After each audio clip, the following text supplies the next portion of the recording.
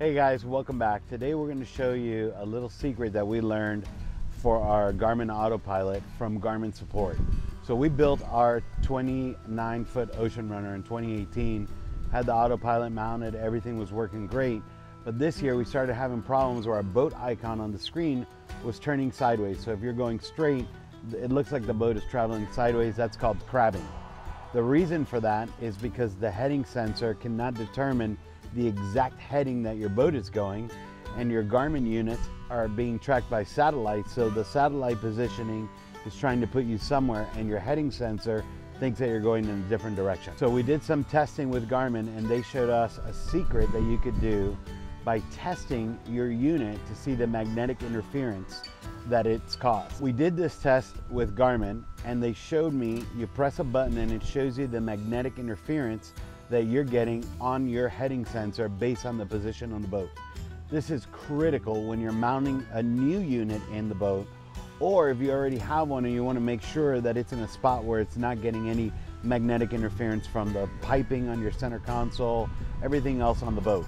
It's always going to have interference, but you need to put it in the place where it has the least amount of interference. We're going to jump aboard now and we're going to show you how you can easily do this to your unit if you already have one and want to make sure it's in a good spot or you're thinking about putting one and before you mount it you put it in the best position.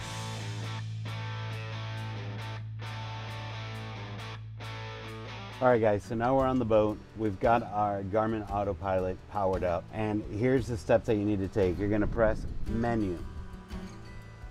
Then you're gonna go down to setup. Press select. Then you're going to scroll down to system and you're going to press select. Now you're going to scroll down here until you get to system information. And if you pass it you could just it'll start back over again. You could just keep hitting down. But you press select. Now on system information it tells you what version of the software you have and all that. And you're going to take your three keys that you have here and you're going to press and hold the right one. You're to hold it down for a few seconds and the diagnostic button now appears, okay? And when you press that diagnostic button, you're going to scroll down to Compass Diagnostics and when you hit select, right on your screen, you're going to see magnetic environment is a 79.